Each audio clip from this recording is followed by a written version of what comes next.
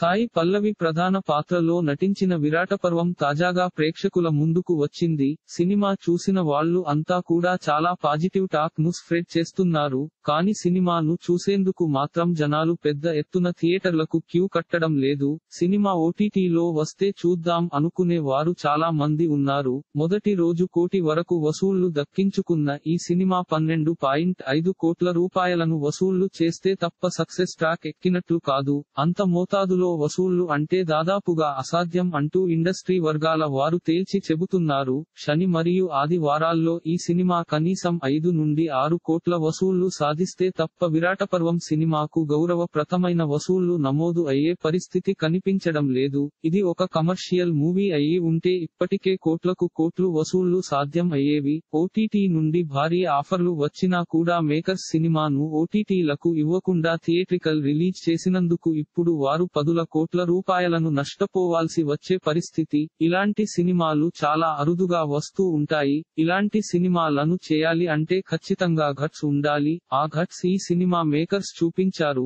మనం ఆ సినిమాను సక్సెస్ చేయకుంటే ముందు ముందు ఇలాంటి సినిమాలను చేసేందుకు ఫిల్మ్ మేకర్స్ భయపడే పరిస్థితి ఉంటుంది. సినిమాలు అన్ని రకాలుగా ఉంటాయి. వాటిని జోనర్ చూడకుండా బాగుందా లేదా అనేది చూసి చూడాలి. కానీ ఇది కమర్షియల్ కాదు అంటూ చూడకుండా ఉండటం ఏమాత్రం కరెక్ట్ కాదు. విరాట పర్వం ను సక్సెస్ చేసుకోవాల్సిన బాధ్యత అందరి మీద ఉంది. ఇలాంటి మరిన్ని తెలుగు వార్త విశేషాలు కోసం ఛానల్కి సబ్స్క్రైబ్ చేసి గంట నొక్కడం మర్చిపోకండి.